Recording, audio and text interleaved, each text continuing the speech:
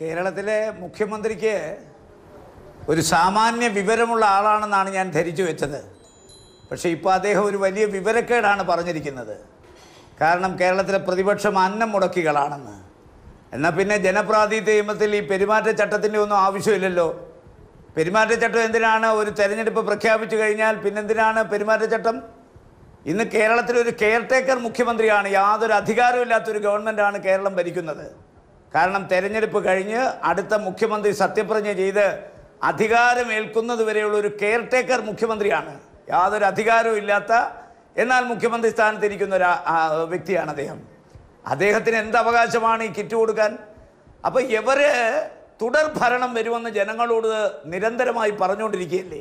ഇപ്പോൾ കേരളത്തിലെ സർവേകൾ മൊത്തം പറഞ്ഞല്ലോ അടുത്ത തുടർ ഭരണമാണ്.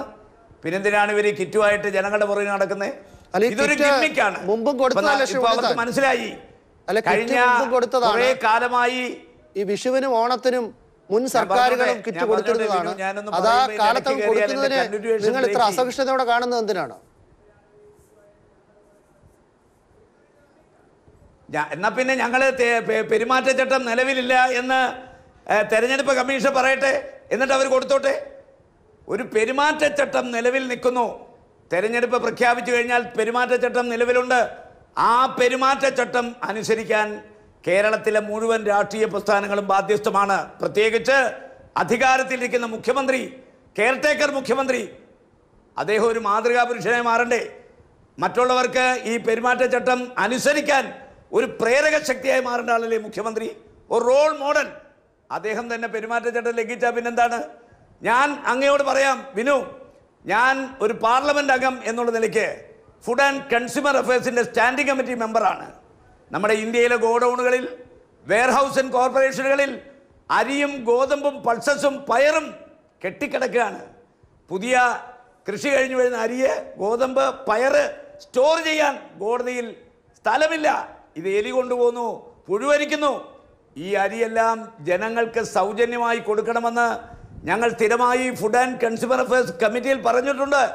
ഇന്ന് കേന്ദ്ര ഗവൺമെന്റ് ഇത് പുഴുവരിക്കാതെ ഇത് എലി കൊണ്ടുപോകാതെ ഈ അരി കുറേ അധികം ജനങ്ങൾക്ക് വേണ്ടി കൊടുത്തു.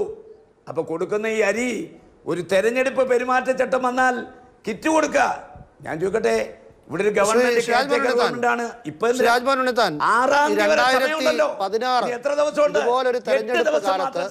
രണ്ടായിരത്തി പതിനാറ് മാർച്ച് മാസം ഈ മുഖ്യമന്ത്രി ഇരുപത്തി രണ്ടാം തീയതി ഒരു പത്രത്തിൽ മാതൃഭൂമി ദിനപത്രത്തിൽ വന്ന ഒരു വാർത്ത ഞാൻ ശ്രീ രാജ്മോഹൻ ഉണ്ണിത്താന്റെ ശ്രദ്ധയിലേക്ക് പെടുത്താം.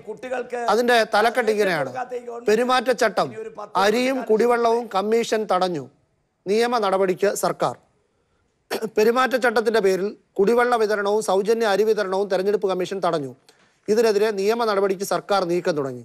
സൗജന്യ അരി വിതരണത്തിനുള്ള നടപടി നിർത്തിവെക്കണമെന്നാവശ്യപ്പെട്ട് സംസ്ഥാന മുഖ്യ തെരഞ്ഞെടുപ്പ് ഓഫീസർ ഇ കെ മാജിയാണ് തിങ്കളാഴ്ച സർക്കാരിന് കത്ത് നൽകിയത്. കുടിവെള്ളക്ഷാമം നേരിടുന്ന സ്ഥലങ്ങളിൽ കുടിവെള്ളം എത്തിക്കാനുള്ള നടപടി കമ്മീഷൻ നേരത്തെ തടഞ്ഞിരുന്നു. കൊല്ലം ജില്ലയിൽ നിർത്തിവെക്കാൻ ആവശ്യപ്പെട്ടിരുന്നു. ഇതേ തുടർന്നാണ് തെരഞ്ഞെടുപ്പ് കമ്മീഷന്റെ നടപടികൾ ചർച്ച ചെയ്യാൻ തിങ്കളാഴ്ച പ്രത്യേക മന്ത്രിസഭാ യോഗം വിളിച്ചത്. മുഖ്യ തെരഞ്ഞെടുപ്പ് ഓഫീസർക്കെതിരെ കടുത്ത വിമർശനം ഉന്നയിച്ച മന്ത്രിസഭാ യോഗം തടസ്സം നിൽക്കാൻ കേന്ദ്ര തെരഞ്ഞെടുപ്പ് കമ്മീഷന് തടസ്സം നീക്കാൻ കേന്ദ്ര തെരഞ്ഞെടുപ്പ് കമ്മീഷന് കത്തയക്കാൻ ചീഫ് സെക്രട്ടറി പി കെ മൊഹന്തിയെ ചുമതലപ്പെടുത്തി. അരി വിതരണം സംബന്ധിച്ച തടസ്സം മറികടക്കാൻ ഭക്ഷ്യ സെക്രട്ടറിയും തെരഞ്ഞെടുപ്പ് കമ്മീഷന് കത്തയക്കും. തെരഞ്ഞെടുപ്പ് പെരുമാറ്റച്ചട്ടത്തിന്റെ പേരിൽ കുടിവെള്ള വിതരണത്തിന് തെരഞ്ഞെടുപ്പ് കമ്മീഷൻ തടസ്സം നിന്നാൽ നിയമ നടപടി ആലോചിക്കേണ്ടി വരുമെന്ന് മന്ത്രിസഭാ യോഗത്തിന് ശേഷം മുഖ്യമന്ത്രി ഉമ്മൻചാണ്ടി പറഞ്ഞു.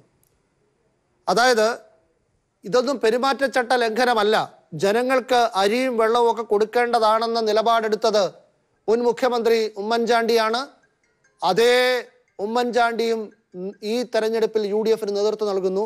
അങ്ങനെയെങ്കിൽ ശ്രീ പിണറായി വിജയന്റെ വാദം നിലനിൽക്കുകയില്ലേ? ജനങ്ങൾക്ക് ആവശ്യമുള്ള സമയത്ത് ആവശ്യമുള്ളത് കൊടുക്കണം. അതിന് കമ്മീഷൻ തടസ്സം നിൽക്കാൻ പാടില്ല. പ്രതിപക്ഷവും തടസ്സം നിൽക്കാൻ പാടില്ല.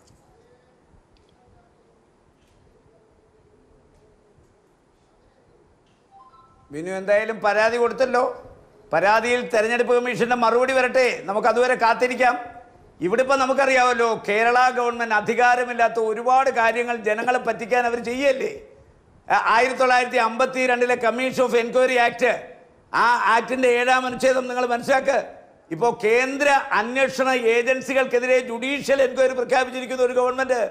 അപ്പൊ ജനങ്ങളെ പറ്റിക്കാൻ ഈ ഗവൺമെന്റ് എന്തെല്ലാം ചെയ്യുന്നു?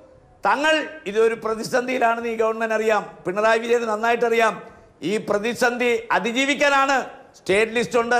സ്റ്റേറ്റിനും സംസ്ഥാന രാജ്യത്തിനും തുല്യ പ്രാതിനിധ്യമുള്ള കൺകറൻ ലിസ്റ്റ് ഉണ്ട്. സെൻട്രൽ ലിസ്റ്റ് ഉണ്ട്.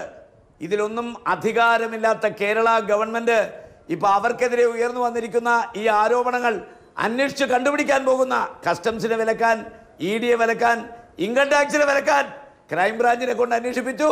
അത് ഏക്കുന്നില്ല എന്ന് കണ്ടപ്പോൾ ജുഡീഷ്യൽ എൻക്വയറി പ്രഖ്യാപിച്ചു. തെരഞ്ഞെടുപ്പ് പെരുമാറ്റച്ചട്ടം നിലനിൽക്കുമ്പോൾ ജുഡീഷ്യൽ എൻക്വയറി വേണമെങ്കിൽ തെരഞ്ഞെടുപ്പ് കമ്മീഷന്റെ അനുവാദം വേണം. ഇത് അത് കമ്മീഷന്റെ അനുവാദത്തോട് കൂടി മാത്രമേ. നടപ്പാക്കൂ എന്ന് പറ- പറഞ്ഞതാണ് സർക്കാർ. പത്ത് ദിവസക്കാലം ജുഡീഷ്യൽ കമ്മീഷൻ ഒരു തീരുമാനം തന്നെ വരാമോ ഒരു- ഒരു പരീക്ഷണമാണ് ഒരു അർത്ഥമില്ലാത്ത കാര്യമാണല്ലോ. രാജ്മോഹൻ ഉണ്ണിത്താൻ. അതൊക്കെ ഈ തെരഞ്ഞെടുപ്പ് കാലത്ത് മെയ് ഏപ്രിൽ ആറ് വരെ ഓടുന്ന ഒരു പടമാണ്. അതിനപ്പുറത്തേക്ക് ഒരു സാധ്യതയും ഇല്ലാത്ത കാര്യമാണ് അങ്ങനെ നമുക്കതിനെ മാറ്റിവെക്കാം. ശ്രീ